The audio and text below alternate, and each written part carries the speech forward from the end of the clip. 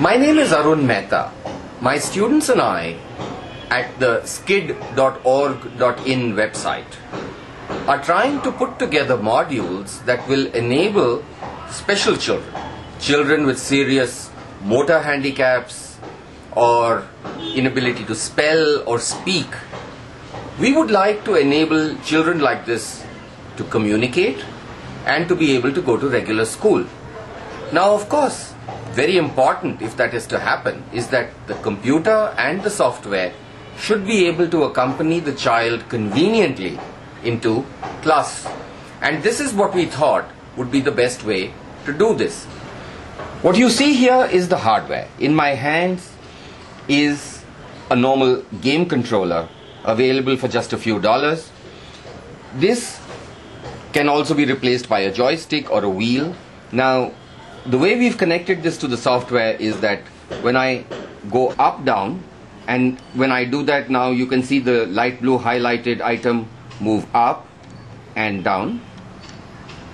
I can also move left right in which case I switch between the different modules that I have. Right now we are at the game, NIM. This is the module selector and this is the font selector. I can say yes or no with these two buttons. This for example allows me to pick one stick in the NIM game and this allows me to simply start a new game. To say when I say no I simply start a new game. So these are this is yes this is no and I have up down and left right over here. Okay now if we come closer let me show you the software in action we've got here the letter H typed. Now I want to type hello. So the next letter is E. I can quickly type that. Now I could go on like this or I could use the words module which is offering me suggestions and one of them in the bottom line is hello. So I can quickly go there and select hello. And now when I go back to my typing module I see that hello has been typed.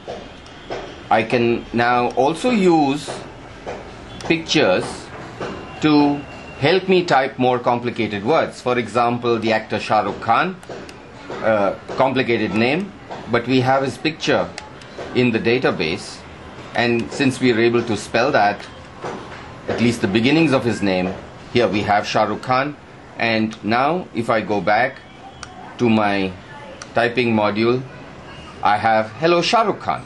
Now maybe I want to say this as well, so I can go back to my speaker module and simply say yes. Hello, Shah Rukh Khan.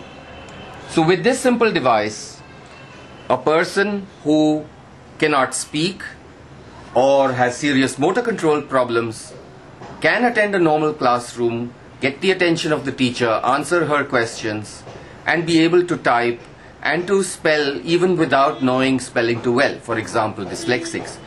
So Hardware like this should allow a large variety of children who are disabled to attend normal school. Thank you.